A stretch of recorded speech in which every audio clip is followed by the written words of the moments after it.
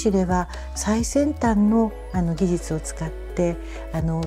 例えば津波警報が発令された場合にその発令をあの、えー、機として自動的にあの飛び立ってドローンがあの沿岸地域に避難を呼びかけるシステムを構築いたしました。言葉自体は日本語なんですけれども音であの危険があのどんな国の人でも危険だということに気づくというところ。で